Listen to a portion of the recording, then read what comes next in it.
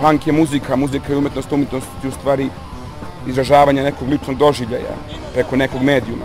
Jel? Ovaj, shvatio sam da ja nešto što, nešto što volim da radim je u stvari pravljanje takve neke muzike, sviranje takve muzike. I tako je, ne znam, između ostalih, između ostalih benda i Baša Čezove boja nastala, kao nešto što ja volim da kažem na neki određeni način, a sve pod uticajem nečega što sam već čuo, video ili osetio pre.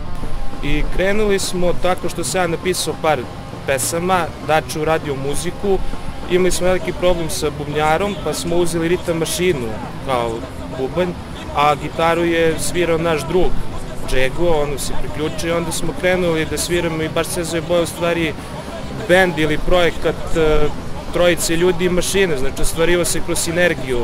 Naš prijatelj je Marko i Džego, koji nam je jako dobar prijatelj, je tu bio jedna, da kažem, baš onako pokretačka struje tada na početku. I mogu da kažem da je bend u tom periodu bio stvarno najozbiljniji, znači najviše smo vežbali, najviše smo svirali, tada smo i snimili taj demo, u principu i on tu bio neko ko je nosio sve to, to moram da kažem. Iako je ta kreativan, taj kreativan deo benda smo nas dvojice u stvari. Dača lepo karakterisao kako, bi, kako je najbolja definicija naše muzike. To je neki sušti, sirovi minimalizam. Malo pričati, a mnogo reći.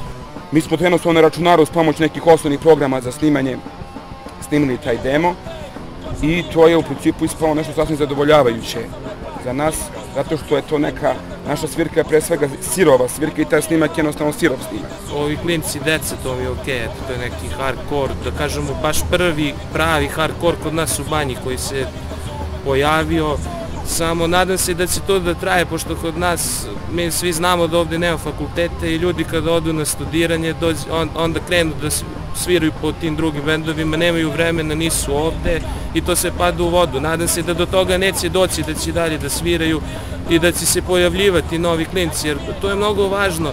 Jedan bend povuče mnogo ljudi za sebe, ljudi krenu da slušaju tu muziku i uvek do, dođe, dođe do nekog kontinuiteta. To pre kod nas nije bio slučaj. Ja mislim da, zahvaljujući pre svega kineskoj hiperprodukciji instrumenta koji su i pojačala koji su sada dosta ovako oborili cenu generalno instrumentima, da se, da se tome u stvari može da hvaliti što postoji sve već ljudi koji sviraju.